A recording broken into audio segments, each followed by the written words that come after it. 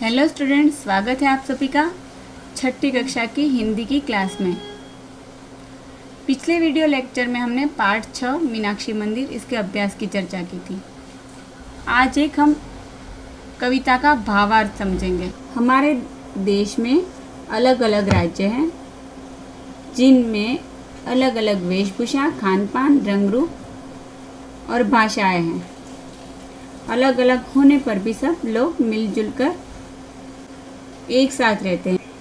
यही हमारे देश की विशेषता है। विविधता में एकता। हम कोई भी राज्य में रहें, भारत के कोई भी राज्य में रहें, या कोई भी शहर में रहे तो हम क्या कहेंगे कि हम अपने घर में ही हैं मतलब हम हमारे देश में ही हैं। तो ये कविता का कुछ ऐसा ही भावार्थ है, और कविता के कवि है निरंकार देव सेवक। कविता है रानी बिटिया। तो चलिए शुरू करते हैं कविता। रानी बिटिया चली घूमने दिल्ली से आगे बढ़। चलते चलते चलते चलते पहुँच गई चंडीगढ़। तो रानी बिटिया घूमने चली है। दिल्ली से वो आगे बढ़ रही है, आगे जा रही है।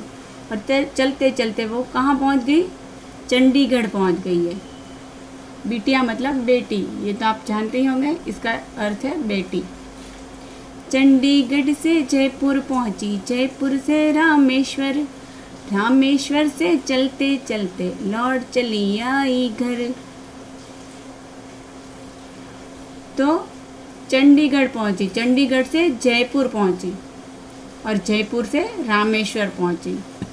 तो रानी बिटिया, कहाँ कहाँ गई? पहले दिल्ली से आगे बढ़कर चंडीगढ़ पहुँची। चंडीगढ़ से जयपुर पहुँची और जयपुर से रामेश्वर।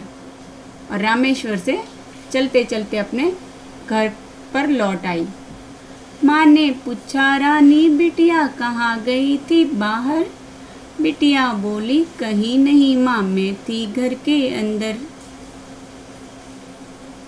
माँ ने पूछा कि रानी, बिटिया कहाँ गई थी, बाहर गई थी? तो बेटी क्या बोलती है? नहीं नहीं माँ, मैं कहीं नहीं गई थी, मैं तो घर के अंदर ही थी। माँ क्या कहती है, देखो।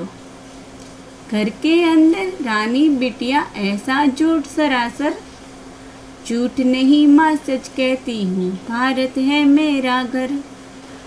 तो माँ पूछती है कि, रानी बिटिया, घर के भीतर, अंदर मतलब पीतर, ऐसा झूठ सरासर? मतलब सरासर मतलब बिल्कुल, पूरी तरह। तो ऐसा बिल्कुल झूठ बोल रही हो तुम? पूरी तरह से झूठ बोल रही हो? तो रानी बिटिया क्या कहती है? नहीं माँ, मैं झूठ नहीं कहती हूँ, सच कहती हूँ। क्योंकि भारत है मेरा घर में कहीं भी गई तो थी तो भारत में ही तो भारत मेरा घर है तो। और ये कविता के कवि हैं निरंकार देव सेवक, इन्होंने ये कविता लिखी है। तो बच्चों, ये कविता से हमें क्या सीख मिलती है? भारत हमारा देश है, चाहे कितनी भी विविधताएँ हैं इसमें। मगर फिर भी विविधता में एकता है और भारत मेरा घर है और हमें मिलजुल कर रहना चाहिए। यही एक कविता से सीख मिलती है।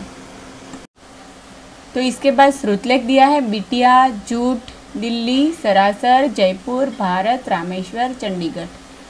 तो ये आपको सुनकर अपनी बुक में लिखने हैं। फिर दिए हैं शब्द अर्थ, वर्ड मीनिंग, बिटिया, बेटी, डॉटर। सरासर बिल्कुल पूरी तरह। अटरली अंदर मतलब पीतर इनसाइड झूठ मतलब लाइफ आपका गृह कार्य है कि आपको श्रुतलेख और शब्द अपनी हिंदी की नोटबुक में लिखने हैं और याद करने हैं. Thank you